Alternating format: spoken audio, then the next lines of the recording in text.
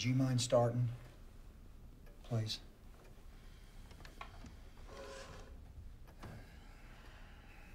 I'm thankful for this food, for God's charity, and for giving me his two greatest men, my husband and my son. Well said. Chet, you're next. I'm thankful for June, the love of my life. Wow, that was sweet, Chet.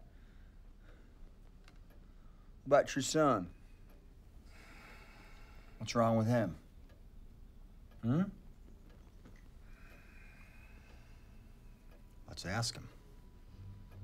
Jay, what are you grateful for? It's none of your business. No, you're missing the point, Jay. Well, I'm not gonna give you anything. Jay, it's your turn. Listen, please stop. These people haven't done anything to you.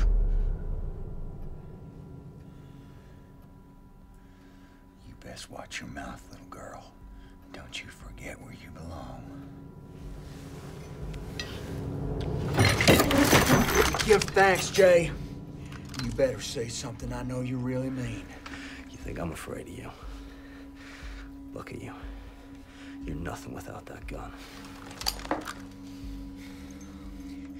What if this is your daddy's last moment of life? What do you want him to take with him?